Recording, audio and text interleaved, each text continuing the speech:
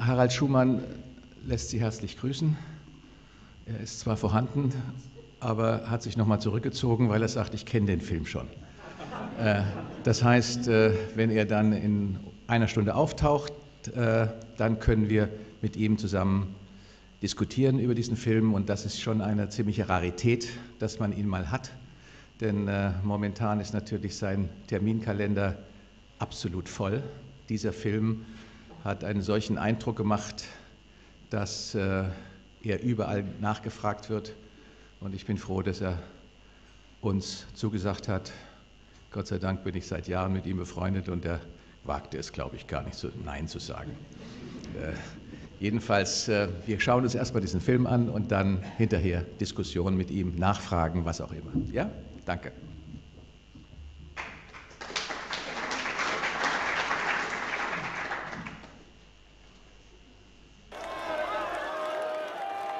Der Wahlsieg der griechischen Syriza-Partei bewegt ganz Europa. Der neue Präsident Alexis Tsipras hat seinem Volk versprochen, die Auflagen des europäischen Kreditprogramms für Griechenland zu reformieren, weil sie in bisheriger Form die griechische Wirtschaft zerstört haben und als Unterdrückung verstanden wurden. Für Finanzminister Yannis Varoufakis hat dieses Instrument der Unterwerfung einen Namen, die Troika. Daher fordert er vom deutschen Finanzminister Wolfgang Schäuble einen New Deal Europa hat jetzt mit unserer Regierung eine Chance. Wir sind neu gewählt. Wir haben den Schwung, mit der Business-as-usual-Mentalität Schluss zu machen.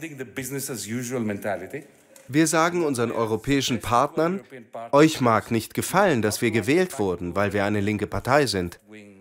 Aber benutzt uns, um in Griechenland ein neues Kapitel aufzuschlagen. Und genauso in Europa.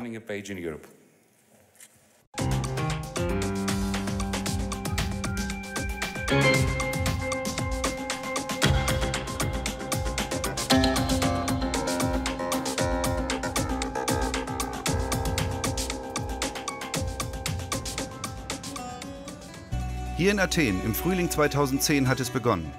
Der griechische Staat war überschuldet, aber die anderen Euro-Staaten wollten unbedingt einen Bankrott Griechenlands vermeiden und deswegen sorgten die Euro-Finanzminister mit Milliardenkrediten aus ihren Staatskassen dafür, dass Griechenland solvent blieb.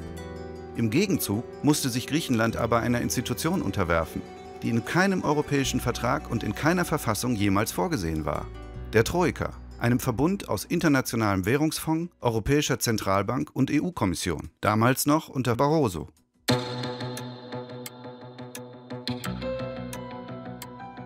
Und so erhielt eine kleine Gruppe von Beamten die Macht, das ganze Land nach dem Willen der Gläubiger zu verändern und umzugestalten.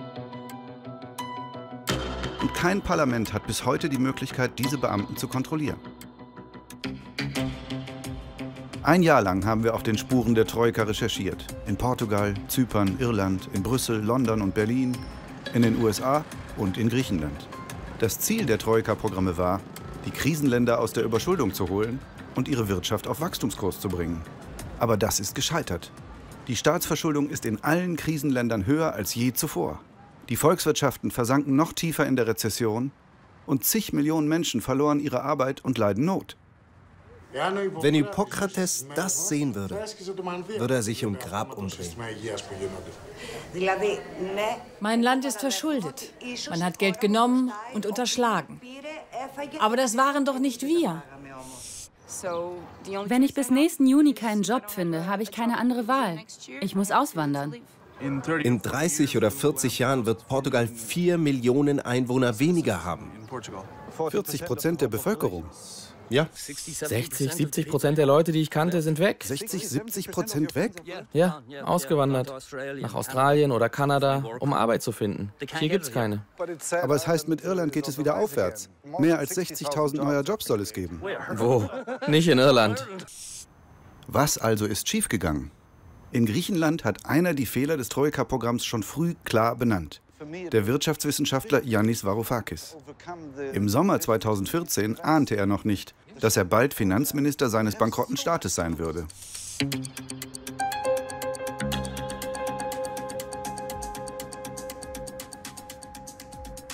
The Troika Die Troika hat unsere Hauptstädte heimgesucht. In Dublin, Lissabon und in Athen spielte sie die Rolle des gierigen Geizhalses Ebenezer Scrooge, wenn es um die Krankenhäuser ging.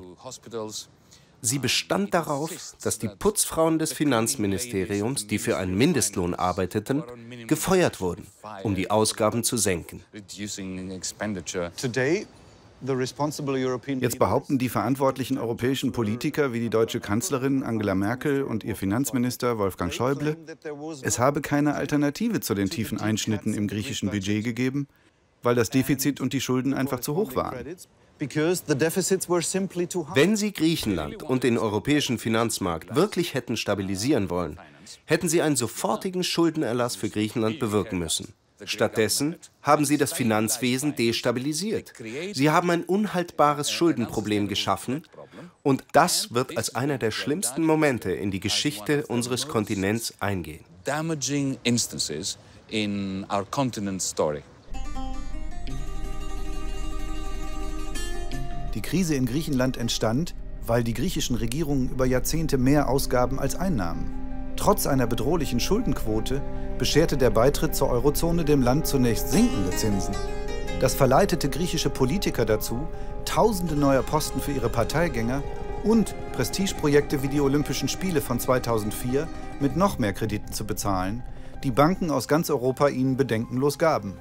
Rund 7 Milliarden Euro kosteten die Sportstätten, die schon wieder verfallen und noch mehr Geld wurde für Rüstung ausgegeben. Das kleine Griechenland hatte, gemessen an der Bevölkerung, den höchsten Wehretat der ganzen NATO.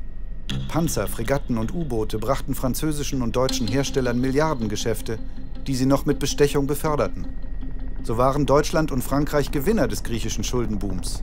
Aber die Mitverantwortung der Banken und Schmiergeldzahler aus ihren eigenen Ländern kümmerte die Regierungen in Berlin und Paris nicht, als Griechenland schließlich im Jahr 2010 vor der Pleite stand. Die klugen Leute in Brüssel, in Frankfurt und auch in Berlin wussten schon im Mai 2010, dass Griechenland niemals seine Schulden zurückzahlen wird.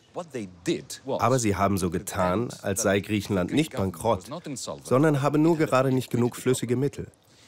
In dieser Lage, dem insolventesten aller Staaten den größten Kredit der Geschichte zu geben, wie drittklassige korrupte Banker, das war ein Verbrechen gegen die Menschlichkeit was a crime against humanity. Damit zwangen sie Griechenland in eine Dauerverschuldung ohne Ende. Und sie brachten eine stolze Nation gegen die andere auf. Denn dem deutschen Arbeiter, der sich acht bis zehn Stunden am Tag abplagt und trotzdem mehr oder weniger an der Armutsgrenze lebt, wird von seiner Regierung erzählt, unsere Krankenhäuser müssen sparen. Aber wir geben den Griechen 110 bis 130 Milliarden Euro. Dabei ging das Geld gar nicht an die Griechen. Dieses Geld hat nie ein Grieche gesehen. Es ging an die Banken. Das meiste Geld ging an französische und deutsche Banken. Sie haben die Griechen und die Deutschen belogen. Den Griechen erzählten sie, wir haben den Bankrott vermieden und den Deutschen, weil die Griechen unsolide sind, bestrafen wir sie nun mit Sparpolitik. Aber wir leihen ihnen Geld aus europäischer Solidarität.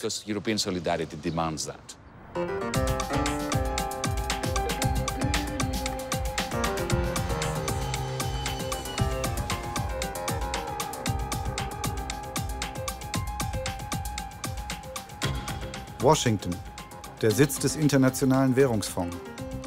Dessen Experten haben jahrzehntelange Erfahrung damit, Schuldenkrisen zu managen. Darum holten die Euro-Staaten den IWF als Kreditgeber mit ins Boot. Über die Kreditvergabe entscheiden die Exekutivdirektoren, die die Mitgliedstaaten vertreten. Als der Fall Griechenland anstand, gab es im IWF jedoch Widerstand.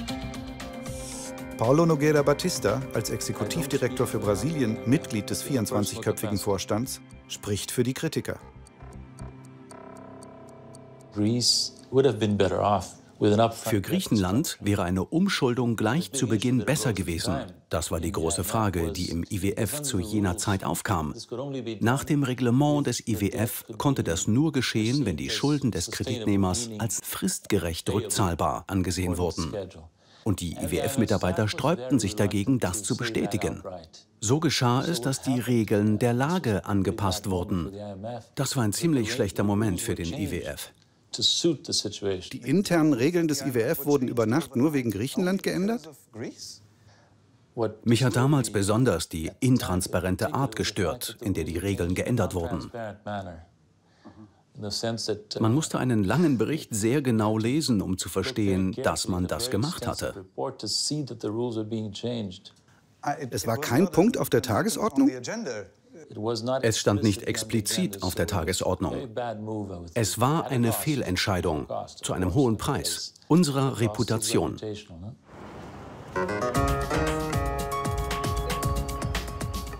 Aber warum inszenierten die Europäer diesen heimlichen Putsch beim IWF? Der frühere Berater des EU-Kommissionspräsidenten Barroso war ganz nah dran an den Entscheidern. Die IWF-Mitarbeiter wurden von ihrem Direktor Dominique Strauss-Kahn überstimmt. Er wollte französischer Präsident werden und daher den französischen Banken keine Verluste aufbürden. Gleichzeitig warnten auch die deutschen Banken Angela Merkel sehr eindringlich davor, ihnen die Verluste aufzudrücken. Die Regierungen der Eurozone haben dann entschieden, so zu tun, als sei Griechenland nur vorübergehend in Schwierigkeiten. Sie umgingen die gesetzliche Grundlage, auf der der Euro basiert, das Verbot des Zahlungsbeistands zwischen den Staaten.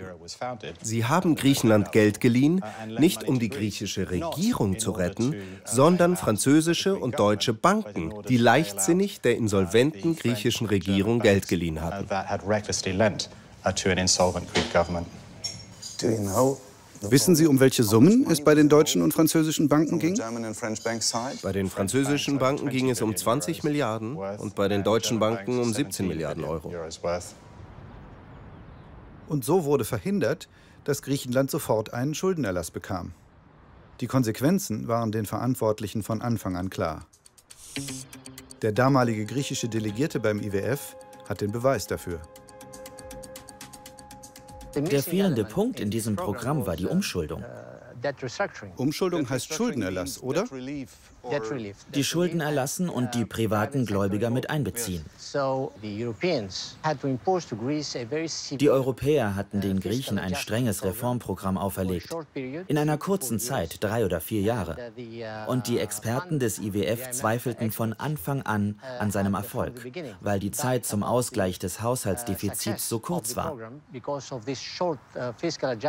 Im März 2010 sandten die Experten des IWF eine E-Mail an die Europäische Kommission.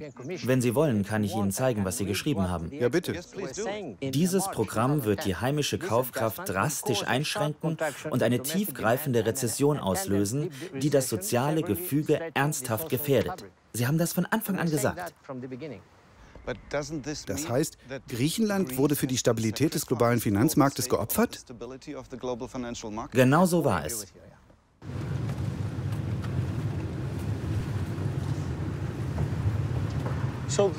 Das hier war eine beliebte Einkaufsgegend. Aber jeder zweite Laden musste schließen.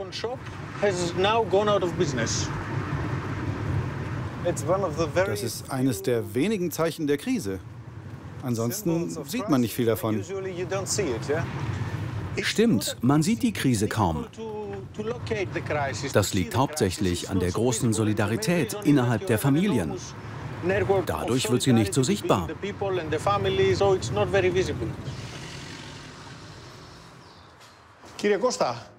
Harald, das ist Herr Kostas. Herr Kostas entschuldigt sich, dass es kein Licht gibt. Der Laden ist in einem chaotischen Zustand. Wie lange steht er schon leer? 20 Monate. Die Miete betrug hier 900 Euro. Ja, dann 800, 700, 600 und jetzt 500 Euro. Was wird jetzt aus Ihrem Geschäft? Ja, was soll ich machen? Ich würde auch für 400 Euro vermieten. Aber ohne Nachfrage, keiner hat das Geld dafür. Dann besser verkaufen oder verschenken. Verschenken, ja. Aber verkaufen? Was? Es verkauft sich nicht.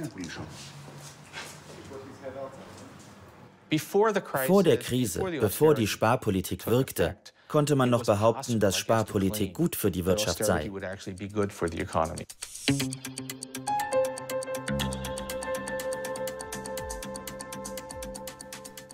Es war eine verbreitete Meinung. Aber nun haben wir die Erfahrung und wissen mit überwältigender Klarheit, dass Sparpolitik in der Tat bewirkt, dass die Wirtschaft schrumpft. Und das um weit mehr als nur eins zu eins im Verhältnis zu den Kürzungen. Was heißt das für die europäische Wirtschaft? Es besteht ein deutlicher, klarer Zusammenhang zwischen Sparpolitik und dem wirtschaftlichen Niedergang. Sie haben es also noch schlimmer gemacht. Was viele Menschen schwer verstehen und wenn ich so sagen darf, was vor allem die Deutschen schwer verstehen, die Wirtschaft ist ein Kreislauf. Das Geld fließt. Sie kaufen von mir, ich kaufe von Ihnen. Meine Ausgaben sind Ihre Einnahmen. Ihre Ausgaben sind meine Einnahmen. Wenn man nun sagt, die Leute müssen weniger ausgeben, wenn jeder weniger ausgibt, dann sinken die Einnahmen. Wenn man also sagt, der private Sektor ist überschuldet, hier muss gespart werden und der öffentliche Sektor muss ebenfalls sparen, wem verkaufen wir dann noch etwas? Das kann nicht funktionieren, wenn es alle gleichzeitig machen. Warum wird es trotzdem gemacht? Deutschland schaut auf seine eigenen Erfahrungen und sagt, nun, wir haben unsere wirtschaftlichen Schwierigkeiten der späten 90er mit dem Sparprogramm von 1999-2000 in den Griff gekriegt. Und nun geht es Deutschland gut. Warum können es die anderen nicht genauso machen? Die Antwort ist, in Deutschland ging das nur gut wegen der hohen Exportüberschüsse. Und die waren nur möglich, weil es einen schuldenfinanzierten Boom in Ländern wie Spanien gab. Und nun sagt Deutschland zu Spanien, macht es wie wir. Aber wir werden nicht tun, was ihr gemacht habt. Deutschland blickt nur auf seine eigenen Erfahrungen und denkt, dass Sparpolitik funktioniert. Doch es kommt auf den Kontext an context matters.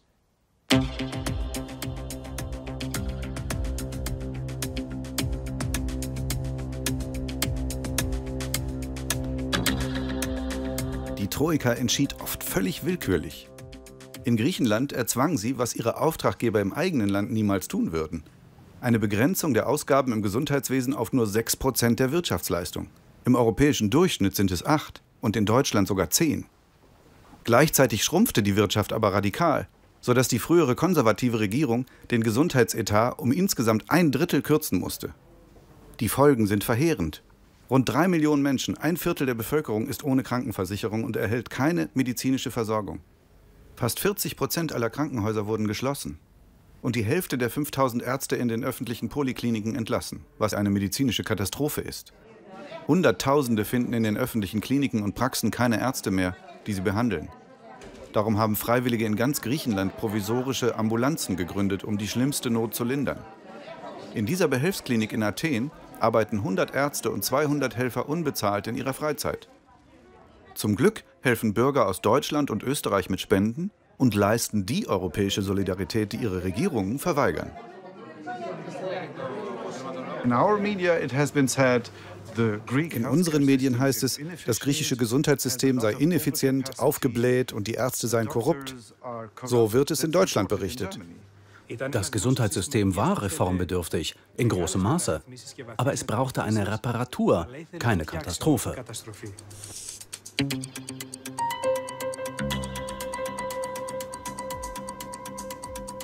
Αυτό που συνέβη στη χώρα μας δεν ήταν να φτιαχτεί das, was in unserem Land passierte, war keine Reparatur der Fehler, die es zur Genüge gab, sondern all das Gute, das es gab, wurde kaputt gemacht. Heute gibt es in meinem Land, in Griechenland, kein Gesundheitssystem mehr. Im ganzen Land sterben heute Hunderte von Menschen. Hunderte von Menschen jeden Monat, nicht etwa in einem Jahr. Sie sterben und diese Zahl wird nirgends erfasst. Aber wir Ärzte wissen das. Denn ein Kranker, der keinen Zugang zum öffentlichen Gesundheitssystem hat, ist dazu verurteilt zu sterben. Die Troika sagt uns, dass nicht wir schuld seien, die griechische Regierung mache es falsch oder irgendein Minister. Wenn man aber die Memoranden genau liest, vom ersten bis zum letzten Satz, sieht man das alles, wirklich alles, was im Gesundheitswesen passierte, selbst die Entlassung von Ärzten und Pflegepersonal, im Memorandum bereits festgeschrieben war. Es waren Auflagen der Troika. Warum wurden diese Maßnahmen ergriffen? Weil wir wirtschaftliche Probleme haben? Aus Unfähigkeit? Aus Dummheit? Nein, nichts von alledem. Sie haben eine Ideologie. Wer Geld hat, lebt. Wer kein Geld hat, stirbt. Έχουν μία ιδεολογία. Όποιος έχει χρήματα ζει, όποιος δεν έχει χρήματα πεθαίνει. Bei den Kranken haben die Troikaner bis heute keine Skrupel. Aber sie sahen weg, wenn die reichen Eliten den Staat betrügen. Im Oktober 2010 übergab Frankreichs Finanzministerin Christine Lagarde ihrem griechischen Kollegen eine Liste mit mehr als 2000 Namen von griechischen Staatsbürgern, die bei der Schweizer Filiale der Großbank HSBC Konten unterhielten. Allein bei dieser einen Bank hatten reiche Griechen mehr als 2 Milliarden Euro versteckt. Aber die Existenz der Liste hielten sowohl Griechenlands Minister als auch die Beamten der Troika geheim und verhinderten so Ermittlungen. 2012 spielte ein Insider die Liste einem Journalisten zur Veröffentlichung zu. Seitdem kursiert sie unter dem Namen Lagarde-Liste. Christine Lagarde ist heute Chefin des IWF. Die Lagarde-Liste erreichte unser Land im Herbst 2010.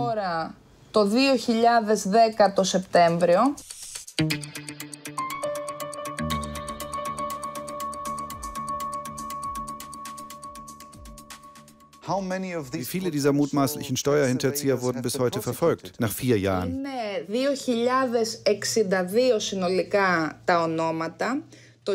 Das sind insgesamt 2062 Namen. Im Januar 2014 teilte der Leiter der Ermittlungsbehörde, ein enger Freund des Ministerpräsidenten, auf Anfrage mit, dass bei sechs Personen Kontrollen durchgeführt wurden. Ein vollkommen unbegreifliches Ergebnis, das jedoch leicht zu erklären ist. Denn auf dieser Liste befinden sich Politiker, Verwandte von Politikern, genau diejenigen, die mit dem griechischen Filz verbunden waren.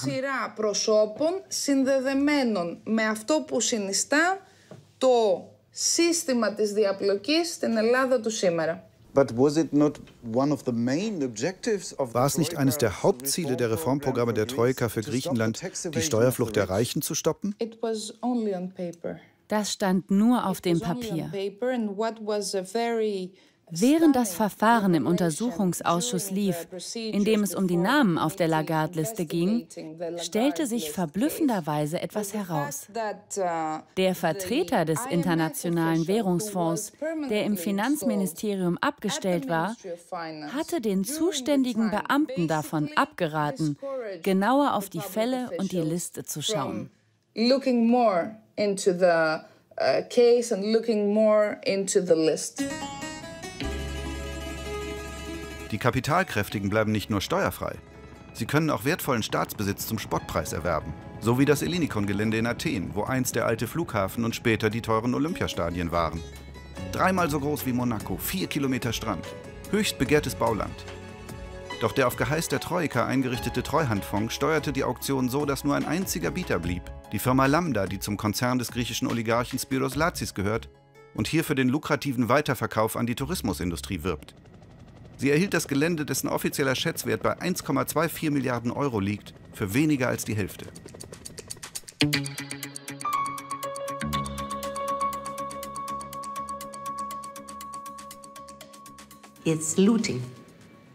Das ist Plündern. Uh, Leider plündert eine kleine Clique das Land. Und es gab nur einen Bieter. Ein Privatisierungsprozess mit nur einem Bieter? Normalerweise würde man bei nur einem Bieter das Verfahren unterbrechen und sagen, okay, wir verkaufen zwei Jahre später. Nicht in Griechenland, nicht unter der Troika. Wer genau profitiert vom Verkauf des Ellinikon-Gebietes? Wer sind die Investoren? Ο κύριος Λάτσης που μέσω της Lambda Development Herr Latzis und Lambda Development werden das Gebiet wohl bekommen. Und Herr Latzis ist derjenige, dem sozusagen die Eurobank gehörte. Und außerdem ist er mit dem EFG-Konzern eng verbunden, der wiederum mit dem höchsten ungeklärten Guthaben auf einem Schweizer Konto in Verbindung gebracht wird. Das wurde nie aufgeklärt, steht aber auf der Lagarde-Liste. Warum hat die Troika nicht eingegriffen? Das hätte sie doch gekonnt, oder? Die Troika hat im Wesentlichen diese kriminelle Politik unterstützt. Auf Kosten des öffentlichen Interesses, der griechischen Bürger, der griechischen Gesellschaft und auch auf Kosten der nächsten Generation.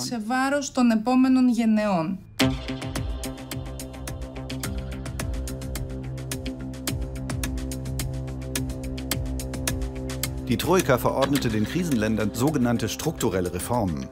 Auch hier folgten sie einer plumpen Ideologie.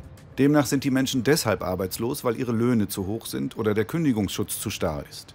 In Portugal wurden Kündigungen drastisch erleichtert, Abfindungszahlungen gestrichen, die Löhne sanken bis zu 20 Prozent und die Verbindlichkeit der Tarifverträge wurde einfach abgeschafft. Zu Beginn der Finanzkrise galt für fast die Hälfte der portugiesischen Arbeiter ein Tarifvertrag.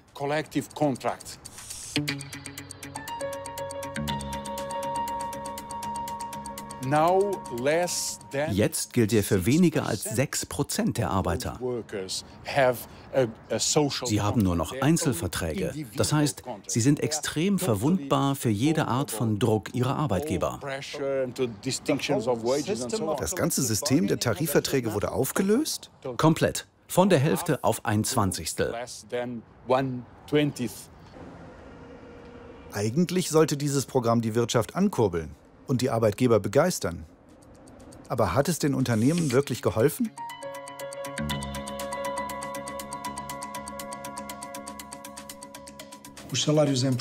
Die Löhne in Portugal sind nicht hoch. Man muss sich nur den Mindestlohn ansehen. Er liegt in Portugal bei monatlich 485 Euro und das Durchschnittseinkommen bei 1000 Euro. In der Tat, in Portugal hält man die Niedriglohnpolitik für veraltet. Was genau haben Sie den Vertretern der Troika gesagt?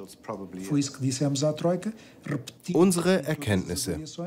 Wir haben sie der Troika wiederholt mitgeteilt. Sie haben uns zwar angehört, aber fast nichts von dem in Angriff genommen, wozu wir geraten haben.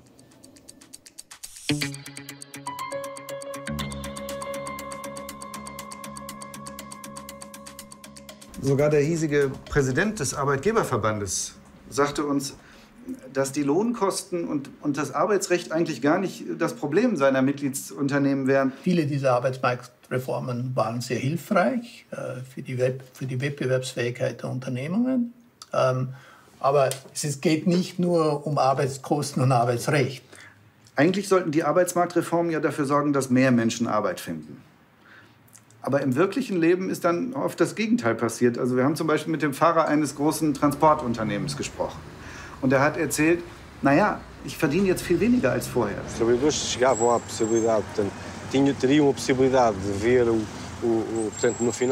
Als Busfahrer brachte man am Monatsende 1300, 1400 Euro nach Hause. Das Durchschnittsgehalt eines Fahrers mit Überstunden. Jetzt kommen wir höchstens auf 900. Ist denn wenigstens der Arbeitgeber glücklich damit und investiert in neue Busse oder neue Linien? Nein, so funktioniert das nicht. Es gibt keine Neueinstellungen mehr. Und uns werden die Überstunden schlechter bezahlt. Die, die da sind, arbeiten einfach mehr. Hat nicht dann diese Art von Arbeitsmarktreform, die dafür einfach sorgt, dass die Leute für weniger Geld mehr arbeiten müssen, genau den gegenteiligen Effekt? Also senkt Beschäftigung statt steigert Beschäftigung? Das ist, was die Wirtschaft schlussendlich braucht, um wettbewerbsfähig zu sein. Aber ich meine, ich hätte in Ihren Berichten gelesen, die Löhne sind bisher um durchschnittlich 8 Prozent gesunken, aber sie seien noch nicht genug gesunken. Man muss sich ja überlegen, wenn dann, dann macht Portugal das und dann, dann machen die Konkurrenzländer das und so entfaltet sich dann europaweit oder womöglich weltweit so eine Art Lohnsenkungswettlauf, was die Amerikaner Race to the Bottom nennen. Also wo ist denn dann mal Schluss? Also wann verdienen denn die Arbeitnehmer mal wenig genug, dass man sagen muss, also hier muss jetzt mal Schluss sein? In der Situation, in der sich Portugal im Moment befindet, muss die Wettbewerbsfähigkeit des Landes äh, hergestellt werden.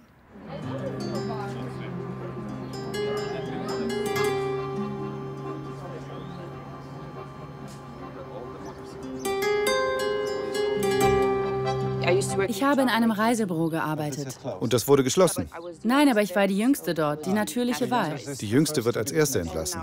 Und jetzt bin ich arbeitslos. Ich bin auch arbeitslos. In welchem Beruf haben Sie vorher gearbeitet?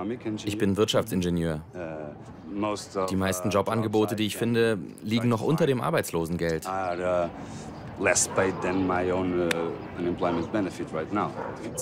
Es ist unerträglich. Ich kann es mir nicht leisten, ein Kind zu haben. Bei 550 Euro im Monat? Ich schaffe es kaum, mich selbst zu ernähren. Alles liegt bei 400 Euro, maximal 500. Was angeboten wird, sind Jobs für einen Mindestlohn. Oder noch weniger.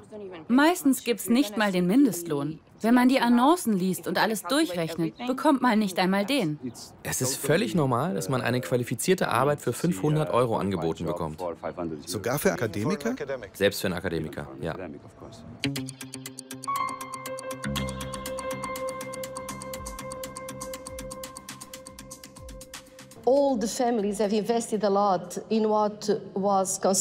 Die Familien haben viel investiert in das, was als eines der größten portugiesischen Probleme galt.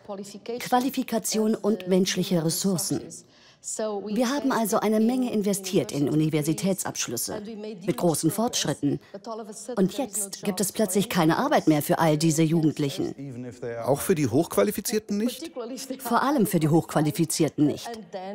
Und weil man gleichzeitig die Löhne drückt, nicht investiert, finden sie keine Arbeit und emigrieren.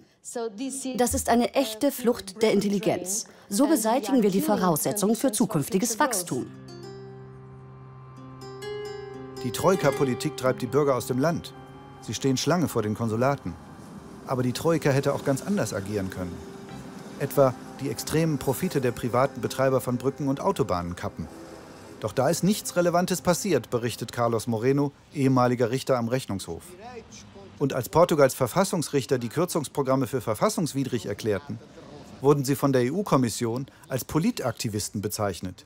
Die Juristin und Abgeordnete Isabel Moreira empört sich darüber. Auch in Irland, dem Musterland der Troika, müssen nur die kleinen Leute zahlen. Währenddessen kassierten Unternehmen wie Apple und Google allein 2011 rund 31 Milliarden Euro nicht versteuerte Gewinne in Irland. Das ermittelte der irische Ökonom James Stewart.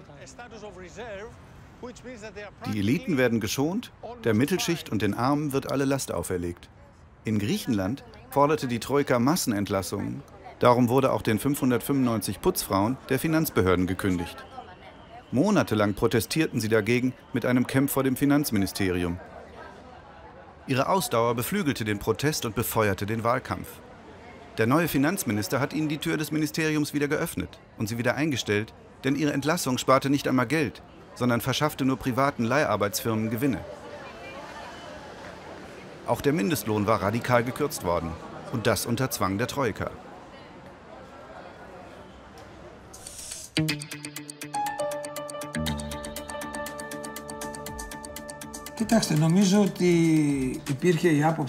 Die Troika, die damalige Regierung und der damalige Ministerpräsident Papademos waren der Ansicht, dass der Mindestlohn von 751 Euro brutto zu hoch war im Verhältnis zur Produktivität der griechischen Wirtschaft und folglich verringert werden musste. Die Gewerkschaften, aber auch die Arbeitgeber waren anderer Meinung. Es existiert ein Memorandum an die damalige Regierung.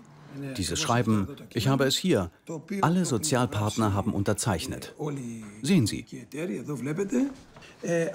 Das wurde jedoch nicht berücksichtigt. Der Mindestlohn wurde verringert, per Regierungsdekret. Und das durchlief nicht das Parlament.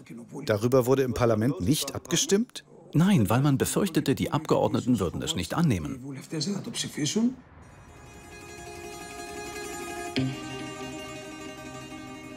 Der Mindestlohn in Griechenland betrug seitdem 586 Euro im Monat. Die Senkung von 4,41 Euro auf 3,44 Euro pro Stunde drückte dreieinhalb Millionen Haushalte noch tiefer in die Armut. Die neue Regierung will jetzt zurück zum alten Satz.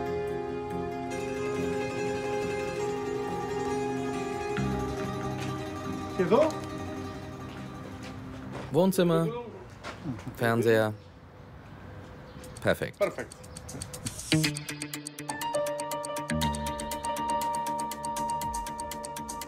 Wenn Sie sich die Entwicklung in Griechenland ansehen, so hat unter anderem, nicht nur, aber unter anderem der exzessiv hohe Mindestlohn dazu geführt, äh, dass im exponierten Sektor, im exportorientierten Sektor, es fast keine Beschäftigung mehr gab. Natürlich waren die Gewerkschaften dagegen.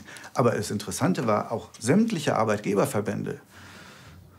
Ich glaube, das sehen Sie falsch. Der zuständige Arbeitsminister wollte es dann auch nicht machen und hat uns berichtet, dass dann eben die Vertreter der Troika in der gemeinsamen Kabinettssitzung gesagt haben, also entweder ihr macht das oder wir zahlen die nächste Tranche nicht aus. Das war Politik per Erpressung. Ist sowas nicht auch ein Machtmissbrauch? Die Behauptung, dass der griechische Mindestlohn keinerlei ökonomischen Auswirkungen hatte und seine Beseitigung oder seine Senkung negative ökonomischen Auswirkungen hätte, ist absoluter Unsinn.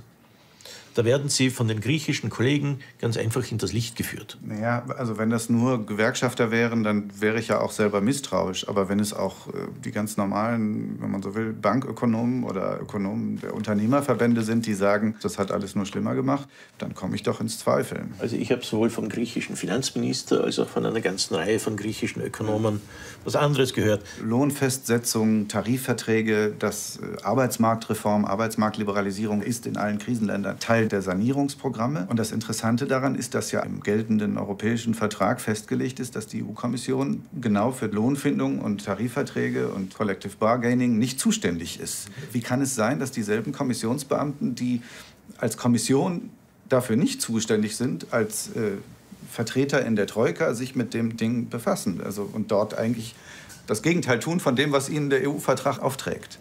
Ist das nicht Vertragsbruch im Auftrag der Eurogruppe?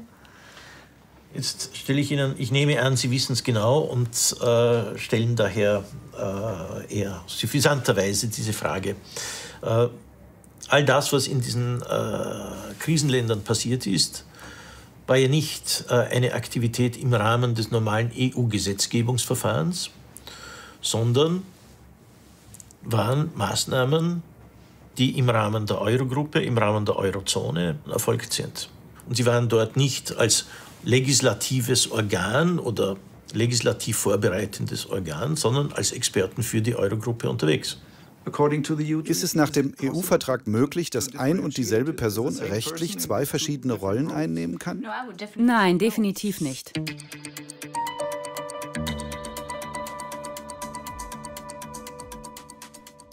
Die Europäische Kommission ist die Hüterin der Verträge. Sie muss den Vertrag immer einhalten. Es kann nicht sein, dass die Kommission dann, wenn sie Teil der Troika ist, den Vertrag beiseite schiebt und alles machen darf. Das geht nicht. Sie muss unter allen Umständen den Vertrag einhalten. Und es ist ganz klar, dass sie das nicht getan hat. Das war keineswegs der einzige Übergriff in der legalen Grauzone. In Athen schwangen sich die Troika-Beamten sogar zu Gesetzgebern auf und erpressten die Minister. Hier, liebe Frau Minister, wir haben große Probleme. Der Text ist nicht akzeptabel. Zentrale Vorgaben fehlen. Unsere zahlreichen Kommentare und Vorschläge wurden ignoriert. Komplett durchgestrichen und neu geschrieben. Bis aufs letzte Wort. Nur, dass wir gewählte Staatsbeamte waren und Sie nur Bürokraten und Technokraten. 13 Monate lang war ich Minister. Es bedeutete mir alles, dass die Verhandlungen mit der Troika stattfanden.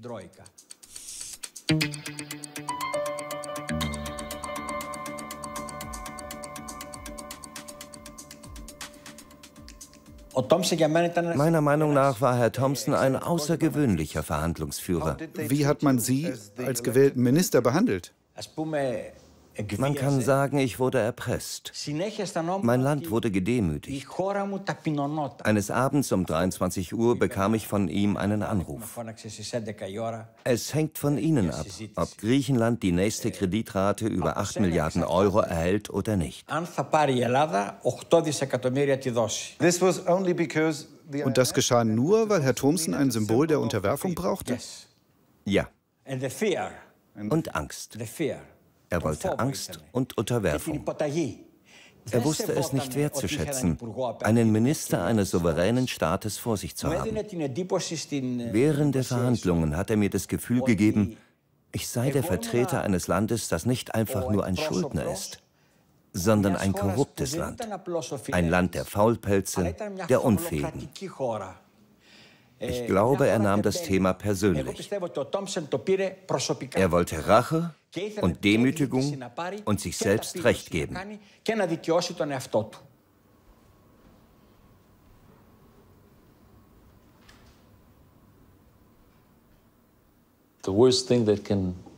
Das Schlimmste, was einem Land passieren kann, ist, in die Hände von internationalen Bürokraten zu fallen, die glauben, besser zu wissen, was das Land braucht. Bis heute ist das Ausmaß der Intervention in Griechenland beeindruckend. Die Troika hat für Griechenland ein so detailliertes Programm entworfen, es ist ein komplettes Regierungsprogramm. Ist es nicht im Allgemeinen sehr riskant, nicht gewählten Funktionären so viel Macht zu gewähren? Sie können tun, was sie wollen. Das ist ein riesiges Thema für Europa, weil wir diese, wie de Gaulle sie nannte, staatenlosen Technokraten haben ungewählte Beamte, die in Brüssel Entscheidungen treffen. Auch hier in Washington gibt es eine internationale Bürokratie. Ich nehme mich selbst davon nicht aus. Ich bin so weit weg von den Problemen. Ich war nie in Griechenland und habe die Probleme nicht vor Ort gesehen. Damit entsteht eine gefährliche Situation für ein Land, wenn so viele Entscheidungen über die Zukunft seiner Bürger in der Hand von Leuten liegen, die sich damit nicht auskennen nicht gewählte, nicht rechenschaftspflichtige und oft sogar inkompetente Beamte aus Brüssel treffen Entscheidungen über Menschen, mit denen sie nichts zu tun haben, vor denen sie sich nicht rechtfertigen müssen. Das funktioniert nicht. Wenn zum Beispiel Angela Merkel Grundsatzentscheidungen trifft, die dem griechischen oder portugiesischen Volk Leid aufzwingen, dann ist sie nur den deutschen Wählern verpflichtet. Und wenn man für die Europäische Kommission arbeitet, hat man einen Job fürs Leben und ist seinen Vorgesetzten Rechenschaft schuldig, aber nicht verantwortlich für das Leid, das man womöglich verursacht.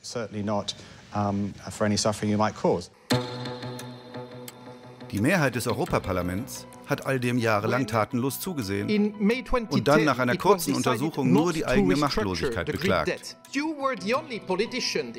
Die verantwortlichen Beamten wurden jedoch nicht zur Rechenschaft gezogen. E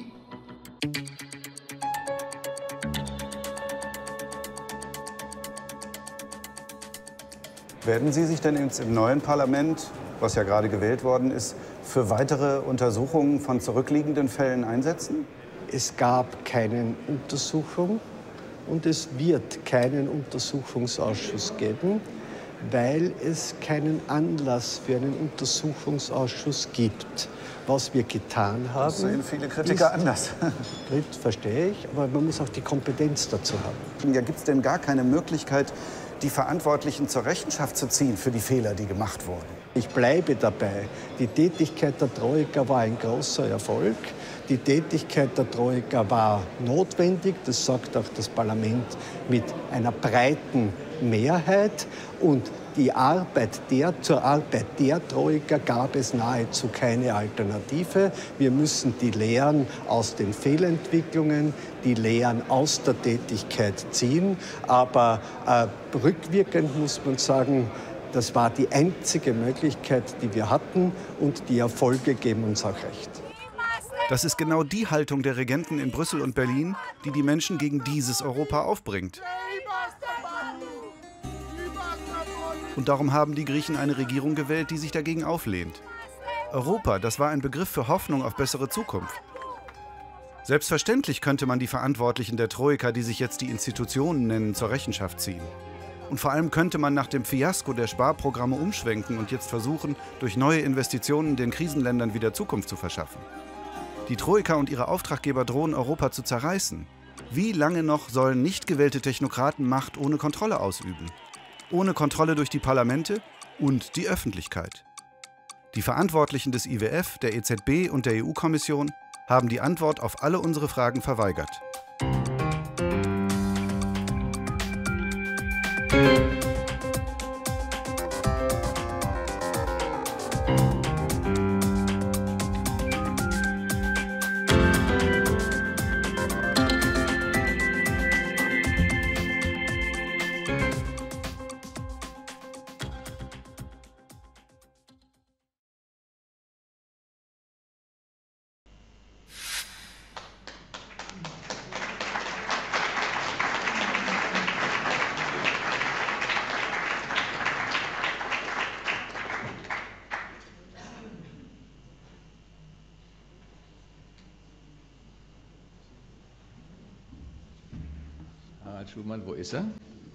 Dachte, der Film ist länger wahrscheinlich. Äh, also, als ich den Film das erste Mal gesehen habe, dachte ich, also, wenn ich eine solche Examensarbeit abgegeben hätte, äh, in meinem Volkswirtschaftsstudium wäre ich aber glatt durchgefallen. Ähm, solch eine Sparpolitik, ohne gleichzeitig Investitionen in anderen Bereichen zu haben, muss dazu führen. Und eigentlich versteht es niemand. Niemand, den ich kenne, der sich mit Wirtschaft beschäftigt, kann verstehen, warum diese Sparpolitik von dem letzten noch als erfolgreich bezeichnet wurde. Ähm, also der Film ist wirklich beeindruckend und er ist auch deswegen beeindruckend, weil er gegen den Strom schwimmt. Äh, wenn man sich die generelle Berichterstattung über Griechenland anguckt in den letzten Jahren, muss ich sagen, äh, da bleibt einem die Spucke weg. All das, was hier geschildert worden ist, findet eigentlich kaum statt. Aber Harald Schumann findet statt. Herzlich willkommen.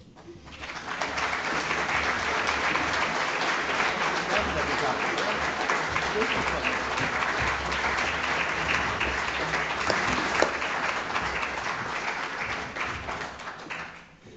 musste eine kleine Brücke bauen.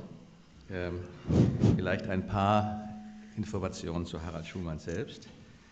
Ähm, dieser Film hat natürlich wirklich Aufsehen erregt und ist, äh, hat bei einem breiten Publikum von politisch Interessierten auch Zustimmung gefunden.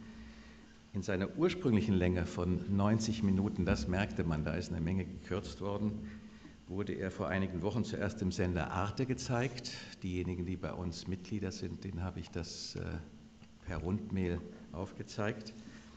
Und äh, wir haben uns eben deswegen, und dann später ist es nochmal in Arte gezeigt worden in dieser kurzen Fassung. Ähm, wir haben uns aber für die Kurzform heute Abend entschieden, einfach deswegen, weil wir dann eben ein bisschen mehr Zeit haben, mit Harald Schumann zu diskutieren. Harald Schumann arbeitete übrigens wie viele Journalisten, haben sie erstmal angefangen bei der Taz. Äh, danach ist er in der Wendezeit zu dem Ostberliner Morgen gegangen als äh, leitender Redakteur. Wegen einer Auseinandersetzung mit dem Chefredakteur Aust ist er dann, also ist zum Spiegel gegangen 2092, hatte eine heftige Auseinandersetzung, an die ich mich sehr genau erinnere. Das stimmt alles nicht, Axel, was du da sagst. Das ist das, was ich in diesen, in diesen Medien gelesen habe, die man aufklappen kann, wenn man am Schreibtisch sitzt. Dann erzähl du doch mal. Also wenn schon, wenn schon meine Karriere, dann muss es auch stimmen. Also ich bin schon 1986 zum Spiegel gegangen und als 1990 Revolution in Deutschland war, wuchsen die Träume in den Himmel und darum habe ich kurzfristig beim Spiegel gekündigt, um das Berliner Tageblatt neu zu gründen. Das wurde dann nichts. Dafür kaufte Springer den Ostberliner Morgen und engagierte drei jungdynamische Wessis, um den Ossis zu zeigen, wie man Journalismus macht. Das lief dann ziemlich anders, aber ähm, das war der tollste Job, den ich je hatte. Leider wechselte dann bei Springer die Machtverhältnisse und dann haben sie den Morgen wieder kaputt gemacht und dann bin ich zurück zum Spiegel. Mach weiter, mach weiter, es ist sehr gut. und, und es ist auch authentisch. Und äh, da habe ich es bis 2004 ausgehalten. Ähm, und dann wurden aber die, wenn man so will, die Zensureingriffe wurden mit der Zeit so schlimm, dass ich dann eben irgendwann nicht mehr ausgehalten habe und gekündigt habe. Und seit elf Jahren bin ich jetzt beim Tagesspiegel. Und äh, seit elf Jahren hat mir niemand mehr in meine Texte reingeredet. Jedenfalls nicht aus inhaltlichen Gründen, sondern wenn dann nur formale oder sprachliche. Ähm, insofern habe ich eine sehr privilegiertes, privilegierte Stellung da beim Tagesspiegel, muss ich sagen. Dafür bin ich meinen Chefredakteuren auch unendlich dankbar. So, jetzt sind wir fertig. Okay, also ähm, ich habe noch deine ganzen Preise, habe ich noch mal aufgezählt, aber die willst du sicher auch nicht hören. Außerdem Nein. würdest du sagen, den habe ich gar nicht gekriegt. äh, ähm, vielleicht sollte man noch erwähnen, dass äh, du Mitglied des Beirates unserer Werteakademie in Gödwitz bist. Genau. Vielen Dank. Du bist dran. Ich bin dran. Ähm, einen Vortrag soll ich jetzt aber nicht halten, oder? nein, nein. Im Grunde können wir es auch genauso umgekehrt machen. Ich dachte, du hättest noch ein paar Worte dazu zu sagen, ähm, zu dieser ganzen Reise, also alles, was sozusagen das Äußere ist. Du warst ja ein Jahr lang unterwegs, wie ich gehört habe. Äh, naja, unterwegs. Also teilweise so, auch frustriert. Also ein Jahr lang unterwegs, also das gibt kein Budget der Welt her. Äh, wir hatten 34 Drehtage. Ähm, Drehtage heißt, dass man dann immer mit dem ganzen Team unterwegs ist. Also Kameramann, Tonfrau, der Regisseur und in der Regel noch ein sogenannter Fixer. Das sind die Leute, die sich vor Ort auskennen und dort die Termine machen und auch die, die Örtlichkeiten erkunden, wo man gut filmen kann. Das heißt, das ist immer ein fünfköpfiges Team unterwegs. Das ist dann eine sehr intensive und anstrengende Arbeit. Und ich bin jeweils vorher noch mal eine Woche oder zehn Tage in die jeweiligen Länder gefahren, um zu recherchieren und äh, überhaupt, wenn man so will, den Stoff aufzubereiten, den wir in dem Film präsentieren wollten. Deswegen war ich, sagen wir mal so, letztes Jahr schon viel unterwegs, aber zwischendurch natürlich auch ganz viel zu Hause. Äh, man muss halt sehr viel am Telefon bzw. Im, im, Netz auch machen. Das Besondere an der Fernseharbeit ist, dass äh, für mich als, also ich gehöre ja eher zur Notizbuchfraktion, ja, die mit einem Schreiber irgendwo hingeht und mitschreibt und dann daraus irgendwas aufschreibt. Und beim Fernsehen musste ich dann eben lernen, dass ähm, man für die gleiche Menge Informationen ungefähr zehnmal so viel arbeiten muss, dafür allerdings auch mindestens zehnmal so viele Menschen erreicht. Also insofern ist der Aufwand dann auch nicht, nicht verkehrt. Das Besondere bei diesem Film war, dass ich ihn gar nicht machen wollte, ähm, sondern dass ich einen langen, ausgedehnten Südamerika-Reise mit meiner Frau gemacht habe und mein, mein Filmmeister und Freund und Regisseur Arpad Bondi, als ich wiederkam, sagte, du, ich habe einen Vertrag. Und dann habe ich gesagt, oh nee, komm, wir kommen viel zu spät und das will doch in einem Jahr keiner mehr wissen und so. Und, äh, und dann äh, hat er gesagt, du, das geht nicht, ich habe einen Vertrag, der ist unterschrieben. Wenn ich einen unterschriebenen Vertrag bei der ARD zurückgebe, dann kriege ich nie wieder einen. Also er musste mich mehr oder weniger nötigen. Und ehrlich gesagt, ich habe das ganze Jahr über gedacht, der Film kommt viel zu spät, ne, weil da kräht kein Hahn mehr nach. Und dass dann die Neuwahlen in Griechenland quasi das gesamte Troika-Thema aktueller machen würden, als es jemals vorher gewesen ist. Ähm, das führt jetzt dazu, dass Sie heute so viele sind. Okay, vielen Dank.